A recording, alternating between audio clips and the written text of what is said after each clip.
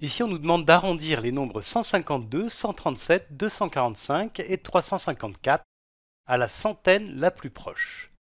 Autrement dit, ça veut dire qu'on va essayer de trouver pour chacun de ces nombres le multiple de 100 qui est le plus proche. Donc on va commencer avec le premier, ici 152. Et ce qu'on va faire déjà, c'est le placer sur cette... Euh, ici, j'ai représenté une partie de, la droite graduée. Donc là, j'ai 100, 200, 300, 400. Ce sont des nombres que j'ai choisi de placer sur cette droite parce que ce sont des multiples de 100. Et j'ai fait ça justement parce que ce qu'on cherche à faire, c'est à arrondir à la centaine la plus proche, donc au multiple de 100 le plus proche. Alors 152, je peux le placer ici sur la droite graduée. Ici, j'ai 100, 110, 120, 130, 140, 150, 160, 170, 180, 190, 200. Donc ici, c'est 150, ce qui veut dire que 152, il est à peu près ici. Donc en tout cas, il est entre 100 et 200. Ce qui veut dire que si j'arrondis à la centaine, je peux arrondir à 100 ou bien à 200. Mais ici, ce qu'on cherche, c'est arrondir à la centaine la plus proche. Alors pour faire ça, on veut arrondir à la centaine. Hein. Le chiffre des centaines, il est ici. Et pour faire ça, ce qu'on va regarder, c'est le chiffre des dizaines. Le chiffre qui est immédiatement à droite du chiffre des centaines, qui est le chiffre des dizaines. Et on va faire exactement comme ce qu'on a fait pour arrondir à la dizaine la plus proche. On va utiliser exactement la même règle. Si le chiffre des dizaines ici est supérieur ou égal à 5, eh bien on arrondit à la centaine supérieure. Donc ici, comme ce chiffre des dizaines qui est 5, il est effectivement supérieur ou égal à 5, ce qui veut dire qu'on va arrondir à la centaine supérieure. Donc ici, on va arrondir à 200.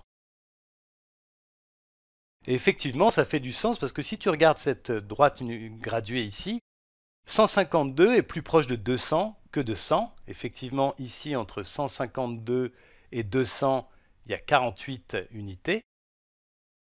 48 unités, alors qu'entre 100 et 152, il y en a 52. Il y a 52 unités.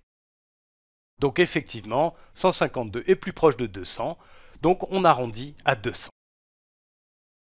Alors maintenant, essaye toi-même de trouver des arrondis à la centaine la plus proche des trois autres nombres, 137, 245 et 354.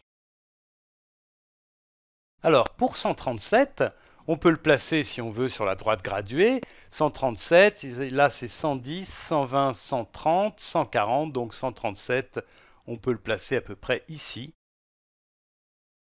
Et donc il est compris entre 100 et 200. Et ce que tu peux voir avec la droite graduée, c'est qu'il est plus proche de 100 que de 200. Donc a priori, on va arrondir à 100. On va arrondir à 100. Et si tu veux, on peut voir maintenant ce que ça donne en considérant le critère qu'on a vu tout à l'heure. Dans 137, le chiffre des dizaines, c'est un 3, qui est inférieur à 5.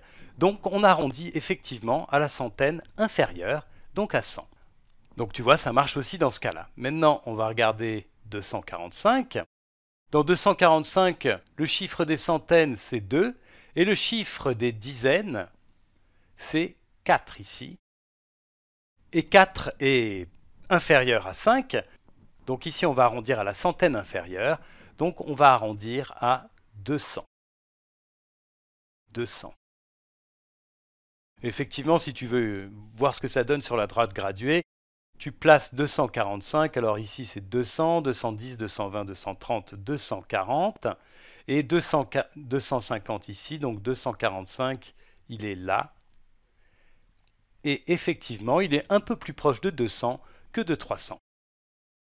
Alors, pour 354, maintenant, on regarde le chiffre des centaines, c'est un 3, ce qui veut dire que 354 est compris entre 300 et 400.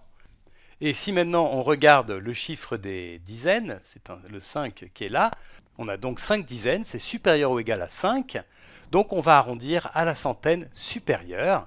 Ce qui veut dire qu'on va, on avait trois centaines, on va augmenter d'une centaine et on va arrondir du coup à 400. 400.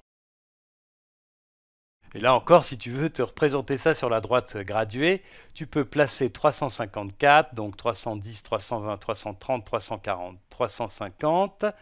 Ça c'est 350, donc 354, il est à peu près là. Il est donc bien entre 300 et 400 et un tout petit peu plus proche de 400 que de 300.